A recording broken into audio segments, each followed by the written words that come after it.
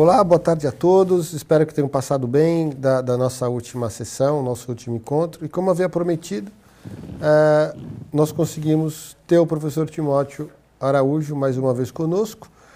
E, e, obviamente, repetindo, ele é professor de educação física com especialização em fisiologia do exercício, ele é pós-graduado em fisiologia do exercício, presidente do Celafiscs, coordenador científico do programa Senior Fit para a Vida Ativa e doutorando em Educação Física. Professor, muito obrigado pela vinda mais uma vez na sua discussão. É, é um prazer e foi muito interessante da primeira conversa que a gente teve e essa que nós teremos hoje é um complemento e, e vem muito a, a, colaborar do que a gente já fez na primeira etapa, que é para consolidar o conhecimento. É isso mesmo. A ideia, a ideia então agora é trazer a relação do gasto calórico que nós fizemos e associar com o número de passos, com a questão do sedentarismo, com a questão da saúde. Então a primeira pergunta que eu te faria é por que, que a população, por que, que o mundo tem sedentariado, tem ficado tão inativo ou muito menos ativo do que deveria ser? É interessantíssima pergunta, porque é o que nós percebemos, o mundo científico não para de discutir isso. Enquanto nós nos preparamos aqui para para conversar com vocês, a gente estava fazendo um relato das pessoas que estão envolvidas aqui, como é a vida delas, elas mesmas já estavam entendendo quem é ou não. Mas olha que interessante, o mundo moderno veio para nos dar facilidades. E a ideia por trás disso era, com mais facilidades eu tenho mais tempo, por exemplo, para ficar em casa, mas para ficar em casa com os meus. E o contrário aconteceu. Nós criamos mais facilidades e essas facilidades acabaram apenas me dando a chance de ficar mais tempo sedentário e muito longe do movimento humano. É, a discussão hoje é o problema: ficamos mais sedentários, Primeiro, porque moramos mais longe do ambiente de trabalho e, com isso, maior tempo para chegar no local de trabalho e chegamos lá de forma sedentária. E outra, estamos dando menos tempo para cuidar de nós. E aí o mundo acaba ficando mais sedentário. Em contrapartida, ou nessa mesma linha, é, esquecemos de dar atenção para o que o corpo humano faz, que é movimento humano. Então hoje nós uhum. nos movimentamos bem menos e até colocamos na nossa vida o momento de parar de fazer. Hoje a gente, é, para um adolescente entrar na faculdade, é o que alguns pais fazem é pare de jogar bola e vai estudar. Uhum. E a vida dele sempre foi assim. Então o, o, é como se movimento humano fosse algo que é, atrapalhasse. que atrapalhasse, exatamente. E o que a gente tem demonstrado hoje é ele é tão necessário como qualquer outra parte importante da vida. Por exemplo, educação. Uhum. Agora, pensa, pensa comigo aqui, Timóteo, na nossa nosso bate-papo. Se a pessoa ela é sedentária, quer dizer que ela tem uma quantidade de atividade que compromete a saúde. E ela pode ter uma quantidade de atividade que passa a ser protetora, hum. que melhora, que recupera a saúde. Pela relação de gasto calórico, você já explicou para nós no último programa. Mas se ele se movimenta, ele anda. Uhum. Se ele anda, ele dá o número de passos, que talvez seja a atividade mais comum, mais básica dessa, da, da espécie humana. O que tem a ver número de passos com classificação do sujeito como sedentário e número de passos com indivíduos ativos? E, e, e essa é a, é a linha do, do, que a gente vai conversar hoje. Que é, então a gente pode até começar assim. Se eu faço atividade física, o mínimo recomendado, eu recebo o nome de ativo. Se eu faço abaixo disso, eu posso até ser chamado de sedentário ou estou numa zona de risco, não estou conseguindo ter o efeito protetor.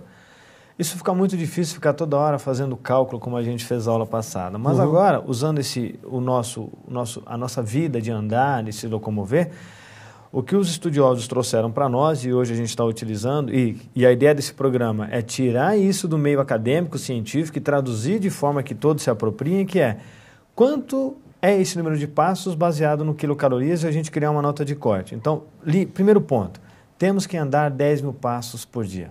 Ponto. Todos têm que fazer isso. Adulto, adolescente, isso. idoso, todo mundo. Todo mundo. Então, todo mundo consolidou 10 mil. Agora nós vemos o seguinte: se você estiver abaixo dos 14 anos, você tem que fazer mais 3 mil. Se você passou dos seus 65 anos, você pode ter um desconto e fazer mil passos a menos. Mas para evitar isso daí, vamos falar o seguinte: todos nós, para termos nota 10 na nossa saúde, temos que ter 10 mil passos.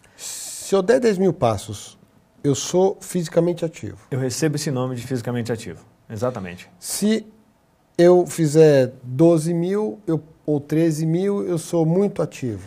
Posso ganhar esse, esse sufixo. E se eu fizer menos do que isso? Nós começamos já a chamar essa pessoa, vamos colocar um nome aqui nessa, nessa linha do politicamente correto. Você é, é ativo, mas é irregular.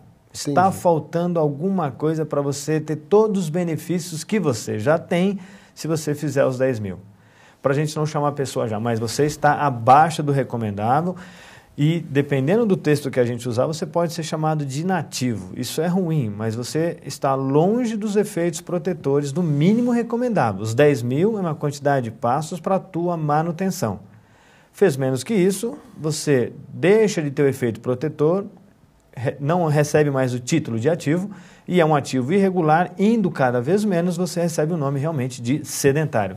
Esse é teu estilo de vida. Você faz menos hoje, o número mais perigoso é abaixo de 1.500 passos por dia.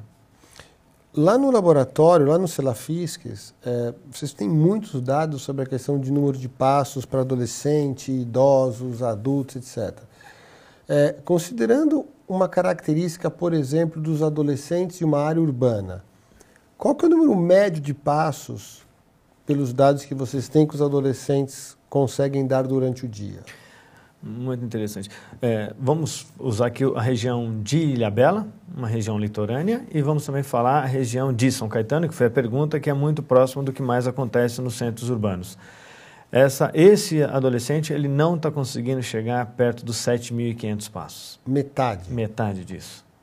É, o que pode acontecer no dia que ele está envolvido com um programa de educação física, com um programa de academia dele, ele, ele faz um pouco mais. Mas os dados mostrando quantos escolares estão conseguindo fazer, no mínimo os 10, que era para o adulto, mas os dois, três mil passos que se espera que eles façam por estar nessa idade escolar, eles estão muito longe. Então, é, eles estão já estão nessa idade com um hábito irregular para a idade deles e já estão abaixo do irregular para o adulto também. E como nós esperamos que o hábito adquirido na infância seja repercutido na vida adulta, a gente vai ter mais trabalho para sugerir isso na vida deles. Agora, os adultos que deveriam fazer 10 mil, os adolescentes fazer 13 mil, fazem 7. Adulto deveria fazer 10 mil. O que é que vocês têm encontrado para adultos? Muito próximo disso também. É, hoje a gente pode dizer, com a experiência do Centro de Estudos, o Celafiscs, o grupo que está muito mais próximo de cumprir a sua agenda é o grupo acima de 60 anos eles fazem muito próximo até dos 9 mil passos que a gente esperaria, que é no mínimo 8.500. O adulto, infelizmente também, ele está girando em torno de 6 mil a 7.900 passos no seu dia a dia. É um número, e se a gente for somar, são quase 2 mil passos acumulados durante a semana, que é como se ele perdesse um dia de atividade. Uhum. Como a gente sabe hoje que quem faz mais atividade física tem mais chance de viver mais, viver melhor, quem hoje está andando 7 mil passos é como se no final da semana ele tirasse um dia da vida dele lá na frente. Como a gente está criando, é a ideia do programa, desse bate-papo, de falar aquilo que está escrito, mas de forma de, de, de fixar conhecimento é vamos pensar que quem anda menos também vai tirando essa quantidade de movimento da sua vida. Não digo que vai morrer logo, mas é capaz que em breve a quantidade de movimento que ele tenha seja muito menor.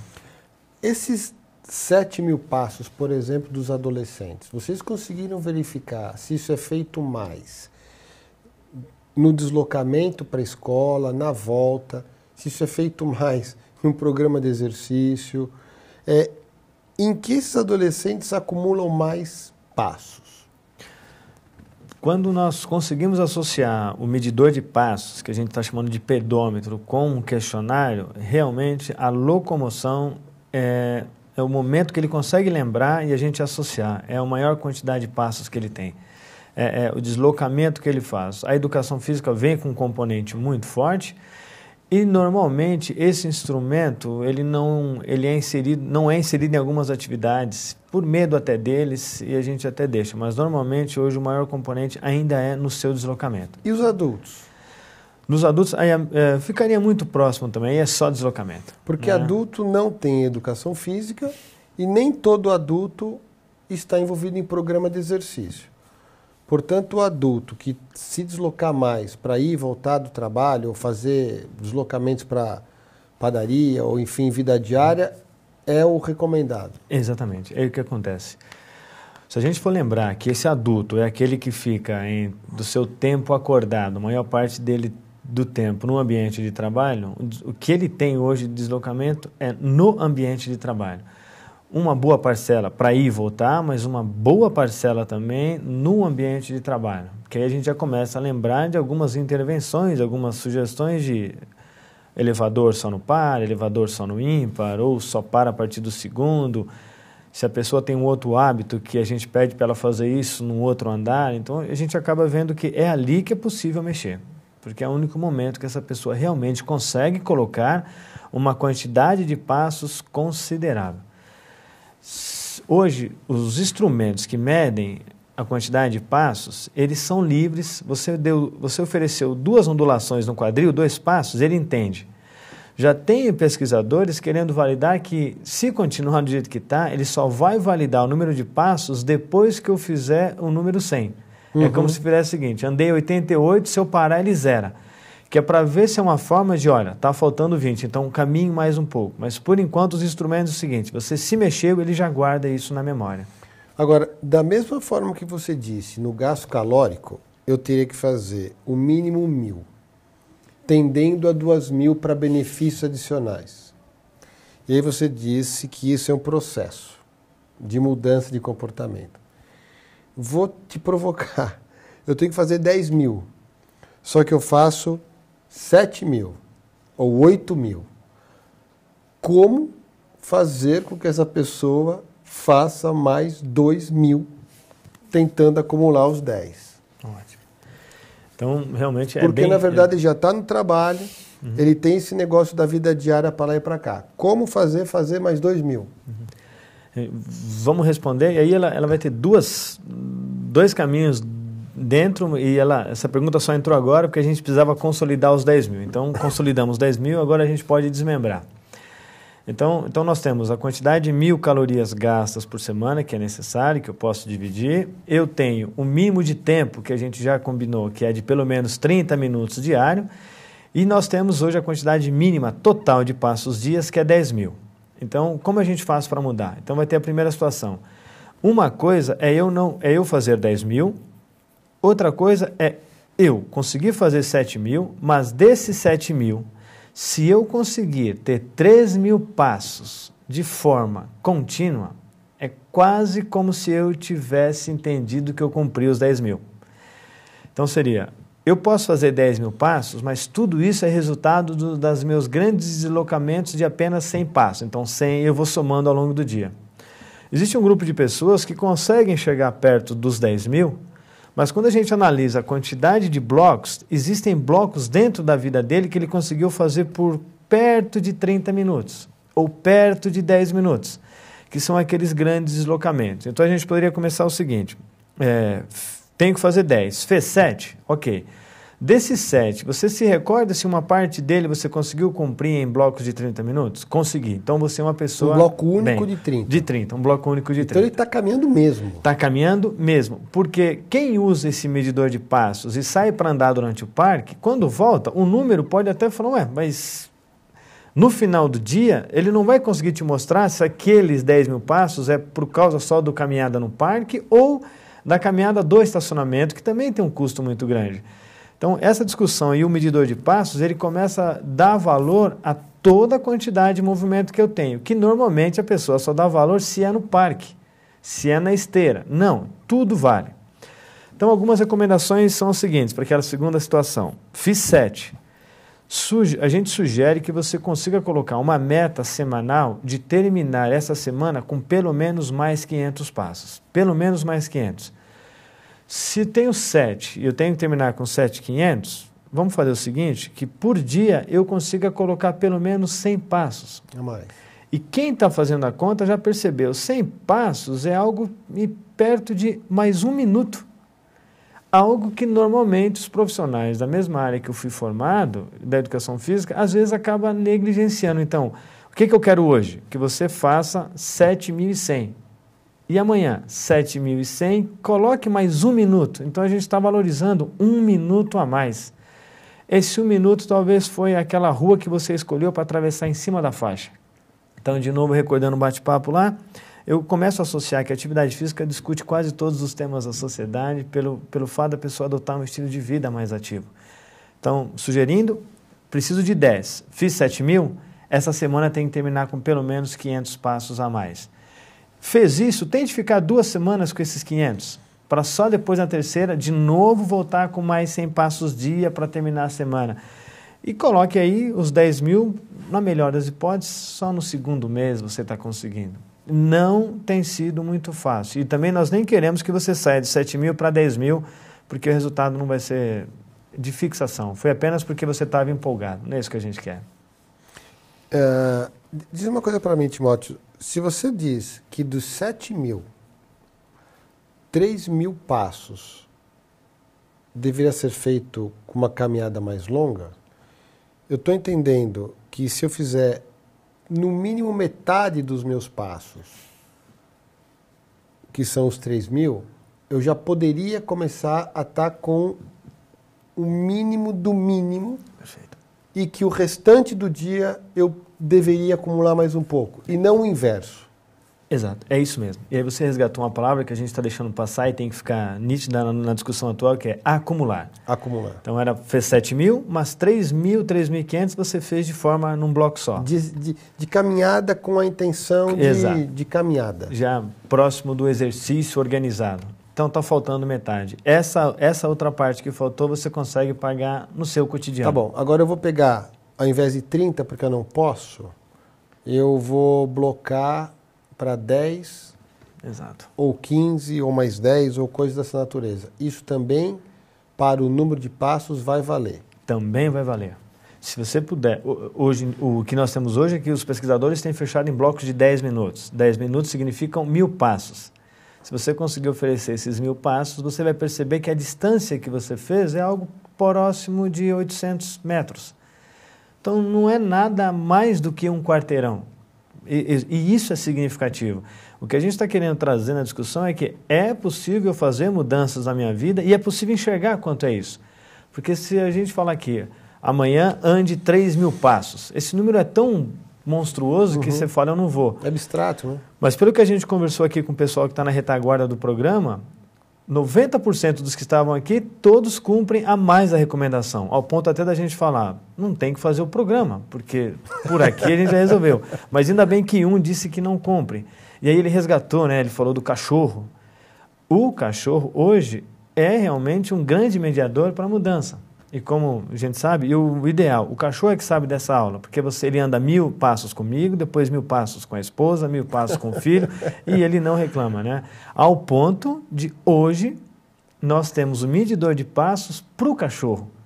Porque hoje o dono do cachorro é muito mais preocupado com a saúde do animal, porque ele sabe, se ele não andar, ele fica estressado. Então hoje a gente coloca o medidor de passos no cachorro, porque ele fala, se o cachorro fez 10 mil, ele está salvo, consequentemente, o dono que estava com ele também fez o mínimo. Timóteo, diz uma coisa para mim. É, você é, é, acredita que se as pessoas tiverem consciência e tiverem até como saber quantos passos dão nessa relação de passos minuto, então se eu fizer blocos de 10, uhum. significa mil passos, é, esse tipo de informação pode melhorar ou contribuir para as pessoas aumentarem o nível de atividade física delas? Como é que você vê isso? Não, não, não tenho dúvida, Ailton. É, vejo sim, acredito e até fomento. E nós temos uma experiência numa região aqui de São Paulo, no Bom Retiro, feito junto com o Programa de Saúde da Família, que esses agentes comunitários, ao visitarem as casas, eles oferecem essa recomendação dos 10 mil passos baseado no número de quarteirões que a comunidade tem que cumprir, porque eles mapearam toda a região. Uhum. Então eles encontram a dona Joana e perguntam se ela já foi, já tomou o remédio e fala: não se esqueça que essa semana a senhora tem que fazer três vezes o quarteirão do Empório do Seu José. E aí as pessoas já estão entendendo por isso. Então eles têm um mapa da região completo com os números de passos. Recentemente recebemos um slide de uma cidade do Canadá no qual a seta para a direita ou para a esquerda ela indicava que tal avenida estava dali a dois mil passos. Então, consolidando que a gente pode realmente colocar isso. Então, a gente está trazendo um pouco do que a saúde pública pode se beneficiar, lembrando que a população, consequentemente, mas do ponto de vista pessoal, é que as pessoas se conscientizem que o número de passos que ela oferece para si mesma é muito significativo. As, muitas delas, às vezes, ficam surpresas, não têm noção do quanto que fazia. E aí dizem: puxa, mas eu faço tudo isso e estou aumentando de peso? A gente fala, sim. E se você parar de fazer, a tendência é realmente esse peso aumentar. Então a gente está valorizando o que as pessoas têm que fazer. Nessa valorização, recomenda-se blocos de 10 para chegar nos 30, três blocos de 10, ou dois de 15 também poderia. Uh, e se eu fizer 9, 9 e 9? Eu não fiz 10, 10, 10. Isso conta dentro dos 7 mil. Perfeitamente. Mas não tem Sim. a mesma significância se eu fizesse os 10 mil. Os 10 mil. Ou, como você mesmo apresenta nas nossas discussões no ambiente acadêmico, que é a dose para esse remédio chamado atividade física, ele é melhor alcançado se a gente fizer 10 mil. Existem pessoas que com 9 já se sentem melhor, ok, mas esse, essa dose chamada atividade física, ela funciona muito melhor se as pessoas fizerem 10 mil. Um grupo pode alcançar menos, mas é, você tem mais resultados e eles são mais positivos se você cumprir um mínimo dos 10 mil. Pode ser que daqui a uns 5 anos, 10 anos, esse número caia, em função daquilo que a gente discutiu, que é a tendência do homem moderno é fazer menos. Uhum. Então pode ser que em breve a gente volte a discutir e diga, olha, o, a população está tão sedentária que 10 mil ficou tão distante que não vale a pena é, investir nela. Então vamos fazer o seguinte, vamos tentar fazer 8, pede no 8 e depois a gente começa, porque isso é verdade a população andava muito mais. Não a população dos filmes pré-históricos, que a gente sabe disso, mas população do, do, interior de São Paulo, que é muito nítido, quem aqui está lembrando do tempo de infância, quando vai visitar os avós, que é o que mais se lembra é tudo eu tenho que fazer andando. Uhum. Porque ir, ir de carro, você perde a relação que é o que mais você queria. É ver um amigo do vô, esse aqui é o armazém do seu João, aqui é onde eu nasci. E isso nas cidades do interior é muito mais fácil de estar consolidado. Em algumas, né? Muitas já estão, essas acima de 200 mil habitantes, está difícil. Mas a gente tem que resgatar o andar também nesse componente, no componente de estou andando e ainda interagindo, que é o que a gente não está conseguindo mais fazer hoje. Agora, diz uma coisa, é, o que você apresentou dos idosos, eles tendem a atingir mais de 10 mil, mil passos que os adolescentes e é, adultos. Qual a razão que esses idosos tendem a cumprir a recomendação dos 10 mil passos. Uh, logicamente não vou perguntar porque os outros não cumprem, mas eu quero saber por que, que eles cumprem. Como que eles qual a razão principal? Muito, muito interessante. Então, lógico que a gente, se a gente for aqui contar um pouco mais, a gente está falando de uma população do município de São Caetano, uma população de pessoas que nascem e, e vivem lá o tempo todo, é uma cidade que proporciona mas também são pessoas que estão envolvidas com atividade física, então eles têm, eles têm a chance de estar é, envolvido com esse hábito do andar. É, o que a gente verifica e gostaria de replicar é que mais programas de atividade física para idosos sejam feitos mais dias por semana, para eles irem mais a gente sabe lá né, que o tempo de ir e o deslocamento de ir até o programa de atividade física tem o mesmo ou maior efeito no número de passos do que fazer a própria aula em si. Não que a aula seja ruim, não é nada disso, mas é para a gente ver que a importância da aula. A aula é o chamariz para algo maior ainda, que é o deslocar. Agora, se você diz caminhar, eu entendo calçada ou passeio livre. É, eu queria que você me comentasse um pouco sobre a necessidade da intervenção em calçadas que sejam, aspas, caminháveis. Perfeito. É, estamos nesse momento no município de São Paulo de novo discutindo o papel da, da calçada e se multa ou não multa. O que a gente poderia falar hoje é uma calçada boa é aquela que permite que a gente ande. E quando a gente, a gente andar, não é nem mesmo as pessoas que precisam de mais cuidado, o cadeirante ou aquele que tem deficiência visual, que realmente eles precisam. Mas sabemos hoje que calçadas apropriadas, planas, é, largas, é, desobstruídas, niveladas, favorece com que nós andemos mais. E aí, como você resgatou, nós aprendemos eh, discutindo isso que calçada recebe o nome dela técnico lá na arquitetura, né, no plano diretor da cidade, chamada de passeio livre. É onde eu tenho que passear de forma livre, é o que a gente não vê hoje. Então, a gente está lembrando de, dos mais idosos andarem mais, mas o risco é maior para todo mundo, porque a gente começa a ficar com, com receio, porque existem aclives e declives e todos colocam pastilhas da cor que quiser, colocam pisos da forma que quiser pisos que não retêm a água.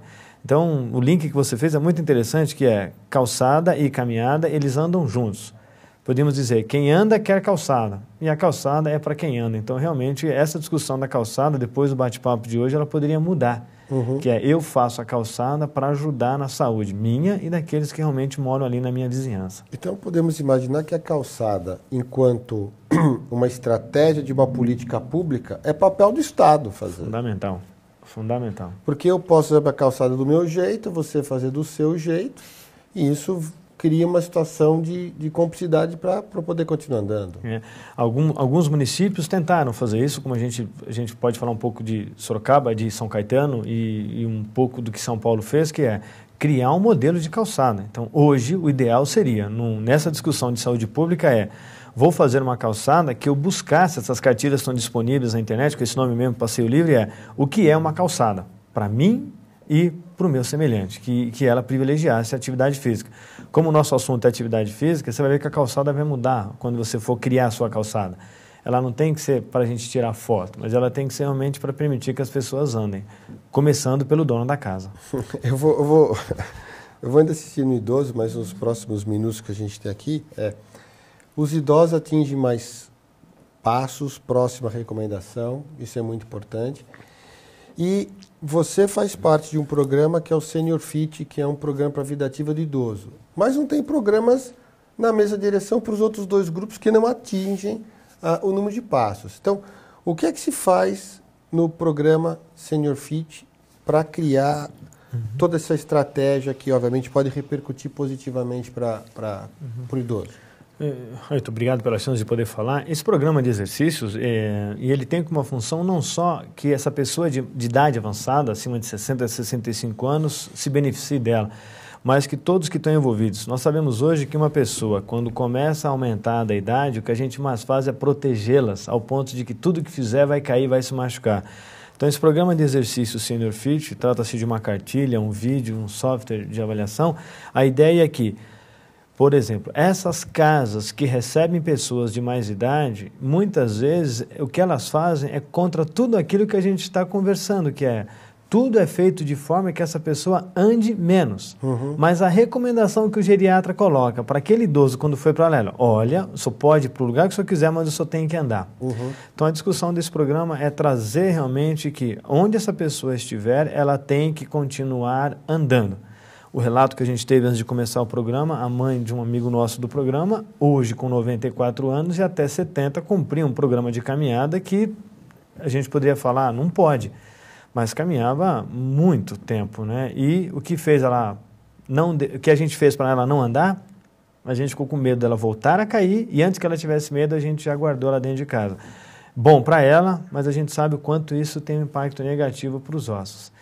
Para as outras populações, o que a gente tem sugerido é que as crianças criem hábitos de caminhar e comecem, quem sabe aqui, esse grupo mais da informática, criar programas de caminhada, na qual a criança pudesse chegar em casa e computar quantos passos ela deu de forma competitiva. Vamos ver quem chega primeiro na Lua?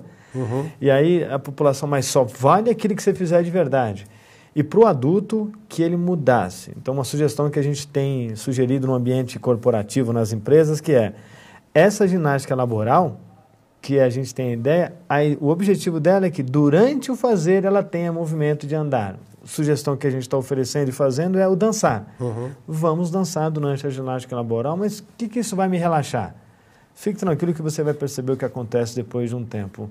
10 minutos a 12 minutos de ginástica laboral dançando, sem muita sem muito exagero, provoca quase 900 passos. Uhum. Então, tudo realmente é computado. E, no, como a gente vem falando, no final do dia, no final da semana, no final do mês do ano, no final de uma década, a gente vai ver o resultado disso, o impacto dessa quantidade de passos.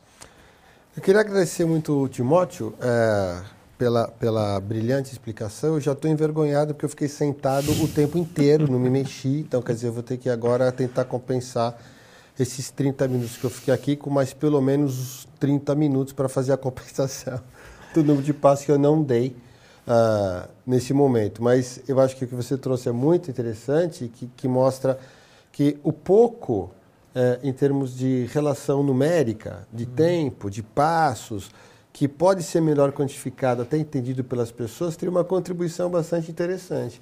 Então, eu queria te agradecer, Timóteo, e convidar você para fazer as considerações finais. Se quiser deixar algum contato adicional, se por favor fique à vontade. Uhum. Eu prometo que uhum. é, em outras ocasiões você já uhum. está antecipadamente convidado para uhum. contribuir conosco aqui no painel Saúde.